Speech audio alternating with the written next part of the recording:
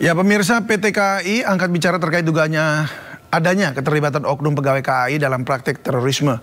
Executive Vice President of Corporate Secretary KAI Raden Agus Dwinanto Budiaji menyebutkan pihaknya menghargai proses hukum yang sedang berjalan. Agus mengatakan PT KAI mendukung berbagai upaya dalam memberantas praktek terorisme. Menurutnya KAI tidak mentoleransi tindakan yang bertentangan dengan hukum. Agus menyebut manajemen KAI akan menindak secara tegas karyawannya jika terbukti terlibat dalam kasus terorisme.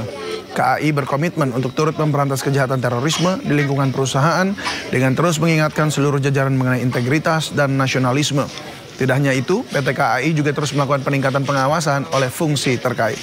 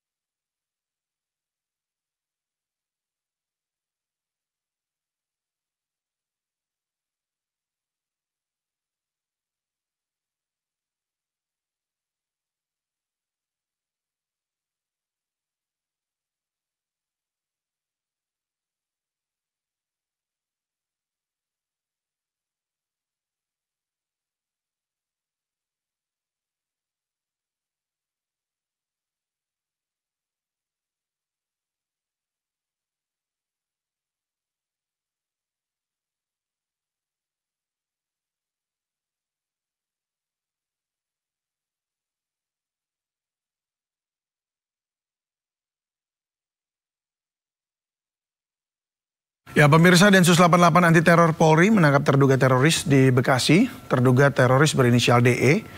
Dia merupakan seorang karyawan di salah satu perusahaan BUMN. Dan Densus 88 menggeledah perumahan Pesona Anggrek Harapan, Harapan Jaya Bekasi Utara, Bekasi, Jawa Barat. Densus 88 mendapati sejumlah senjata dan amunisi di rumah terduga teroris. Diduga pemilik senjata berafiliasi ke organisasi teroris ISIS. Pemilik senjata berinisial DE juga diduga berstatus karyawan BUMN.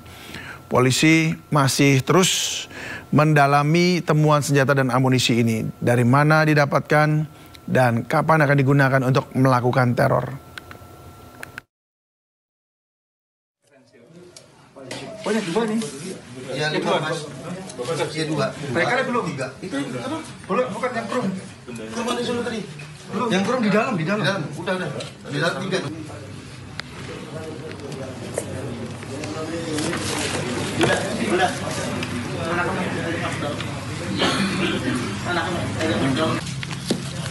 Terus teleponnya biar cepet. Teleponnya terus.